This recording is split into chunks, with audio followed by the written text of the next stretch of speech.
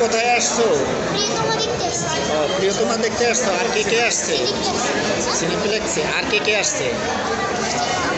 আচ্ছা আচ্ছা। তুমি এই ছবির কথা কি শুনছো? কেমন হবে ছবিটা? শোনো নাই। আচ্ছা দেখার পরে তোমার সাথে সাক্ষাৎকার হবে হ্যাঁ? ঠিক আছে?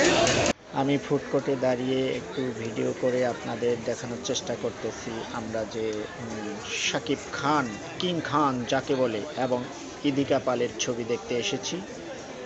আশা করি ছবিটি সুন্দর হবে, ভালো হবে এবং সর্বকালের সর্বশ্রেষ্ঠ একটা ছবি হবে। সেই সর্বকালের সর্বশ্রেষ্ঠ ছবির পুরস্কার যেন শাকিব খান এবার পেয়ে যায়। আমি আপনাদেরকে একটু ভিডিওর মাধ্যমে দেখানোর চেষ্টা করতেছি। ফুড কোর্টটা সনি সিনেপ্লেক্সের ফুড কোর্ট এত সুন্দর পরিবেশ এবং এখানে ফুড কোর্টের যে খাওয়ার মান এখানে ফুড কোর্টের যে খাবারগুলি খাবারের মান অত্যন্ত ভালো এবং আমি আপনাদের এই যে প্রিয়তমা পোস্টার দেখানোর চেষ্টা করছি।